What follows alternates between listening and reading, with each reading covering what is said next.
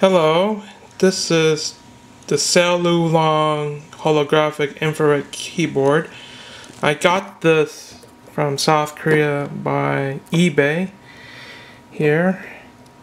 When I turn on this holographic keyboard, it has it in English and Korean. I use a white paper as a background because it's easier to see eh, compared to a black surface but if you put it on the white paper it's pretty clear.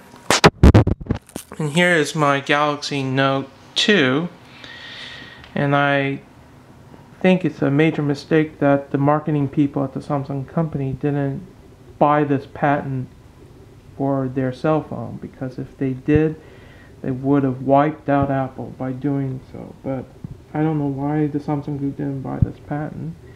But here you have to turn on the Bluetooth this Bluetooth and by pressing this Bluetooth in here you have to wait a little while a little while. Here it is the Celluon PK series. Then I press scan. Press scan. And they said what it said connected to input device yeah that is um, how it's it? And once I connect it to the input device I cancel it and then I go to messaging. Yeah this is the 20th time I try to try to brought try to tape this video presentation.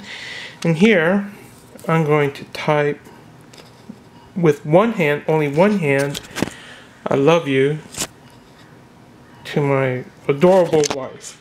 So I press I space love.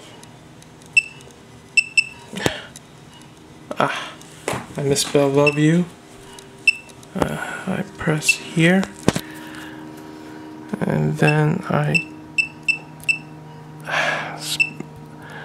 the reason why I'm having a hard time spelling it is because I'm trying to type I love you with one hand on my camera and another hand on the keyboard which is not easy to do. Jungwon, you have to focus. You have to focus this one. Yeah, I love you. And then and then we'll look at the keyboard. When I press tab and enter, it sends the message I love you to my I love you. I love you to my I love you to my wife. And then I changed this keyboard on my Galaxy Note 2 to English to Korean. Jonah, did you get that? Uh, I'll do that again. I change it to English, and then I press this globe sign on my keyboard to to Korean.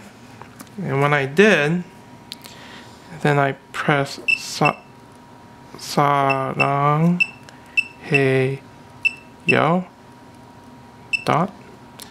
And then I press tab enter. And then here it is. I type sarang sarang hey yo to my wife. So that's the end of my presentation.